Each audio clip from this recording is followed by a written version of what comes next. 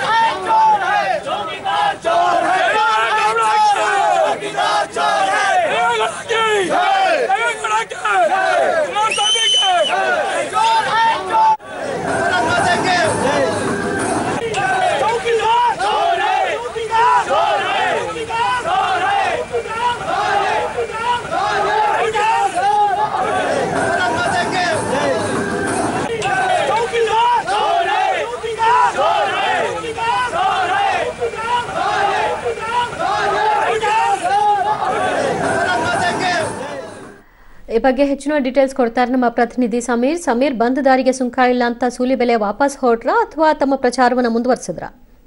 ಆ ದಿವ್ಯಜ್ಯೋತಿ ಏನು ಚುನಾವಣಾ ದಿನಾಂಕ ಹತ್ತಿರ ಆದಂತೆ ಪ್ರಚಾರದ ಬಿಸಿ ಹೆಚ್ಚಾಗ್ತಾ ಇದೆ ಅಂತಾನೆ ಹೇಳ್ಬೋದು. ಇವತ್ತು ಹಾಸನ ಜಿಲ್ಲೆಯ ಹೊಳೆನರಸೀಪುರ ಪಟ್ಟಣದಲ್ಲಿ ಚಕ್ರವರ್ತಿ ಸೂಲಿಬೆಲೆ ತಮ್ಮ ಕಾರ್ಯಕ್ರಮದ ನಿಮಿತ್ತ ಬಂದಿದ್ರು.